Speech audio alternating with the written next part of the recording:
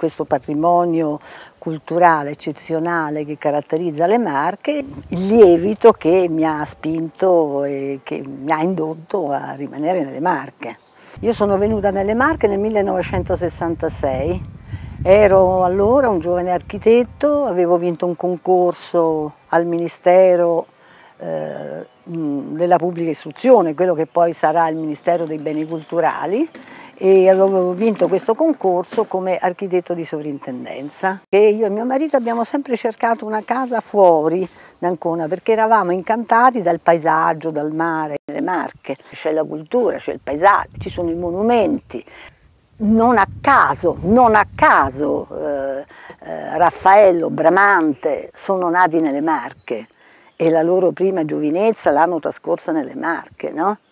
In epoca rinascimentale, il grande momento delle Marche e anche il momento in cui il paesaggio marchigiano ha incominciato ad assumere la sua configurazione attuale che ancora è abbastanza leggibile. Poi l'altra grande trasformazione del paesaggio c'è stata nel Settecento, quando ha preso corpo la, mezzadria, però il paesaggio già, aveva già assunto la sua, la sua struttura riconoscibile. Queste sono le marche, così come le ho percepite io, avendo appunto svolto il ruolo di commissario per i beni culturali delle Marche, danneggiati dal terremoto, ho avuto proprio modo di sperimentare la, la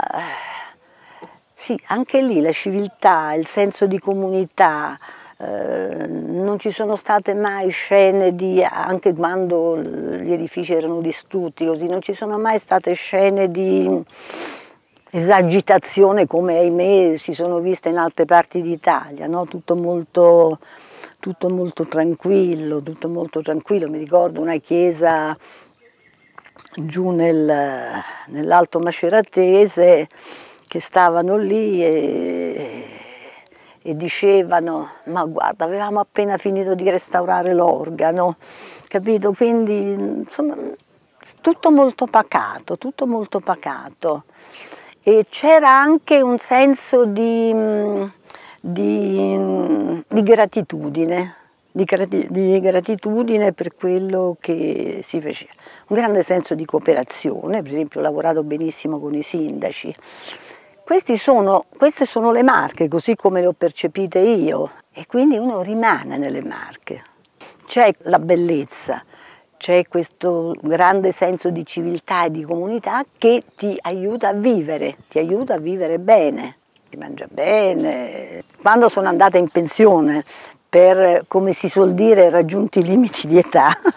e anche adesso continuo a fare delle cose, scrivo, ho fatto dei libri e poi facciamo parte di varie associazioni, per cui studi sempre, eh, ti devi sempre aggiornare, e, e veramente insomma non mi sento una pensionata, in pensione non ci si va mai.